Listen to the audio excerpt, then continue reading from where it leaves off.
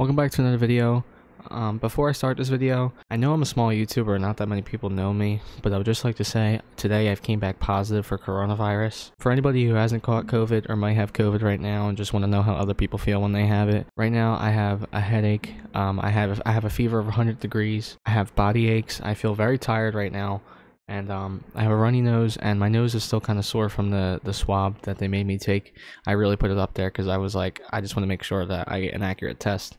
So I came back positive. Anyway, I'm not gonna sit here and distract you about COVID, but if you have any questions about how I'm feeling, I don't know. But anyway, on with the video. So today is January 16th, and this is at 1 p.m. As you can see, we have Winter Storm Malcolm. This is gonna start making its way out of the United States, bringing some heavy snow to higher elevations and rain to the warmer parts. You know, nothing really that significant. And um, after this, we're, we're pretty clear actually. Just some snow showers and maybe a smaller storm system over here. But you know, we have some rain going on down here. But what caught my eye is, as you can see, by the time we get to the 22nd, this is 1 p.m. January 21st. But by the 22nd, um, you'll see we have something pretty significant forming.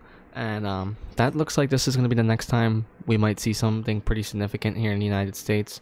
But um, that one's cool and all, but this is the one that really caught my eye. Now this is really far out. This might not even happen, but it is definitely something to look into. Look at this major possible nor'easter that we've been looking into. I'm really excited about it because that looks like it's going to hit me. So just like with Winter Storm Gale, I'm going to keep close eye on this, especially since it's going to be hitting my homeland definitely going to pay more attention to this one. This is the kind of snowstorm, I, if this snowstorm were to actually happen, this would be the kind of snowstorm that you would remember for years. I mean, look at these amazing snow totals. Uh, now, like I said, this is really far out. This is 10 days out to be exact, but but just like Winter Storm Gale, I was looking at that 10 days out and it actually happened. So I'm going to have hope for this because honestly, we need a snowstorm. But I mean, like 17, I mean, over a foot of snow in a lot of places in Pennsylvania, New Jersey, and New York City. New York City could be seeing some pretty significant snow in the next 10 days. But since there's nothing really going on, let's just talk about the cold air that's going to be coming in place. Look at this cold air. Minus 26 degrees in some places in Minnesota. These aren't feels like temperatures. These are real temperatures. And even though this is really far out, I won't be surprised if we see temperatures like this because not only is it January, but like I keep saying in my previous videos, this,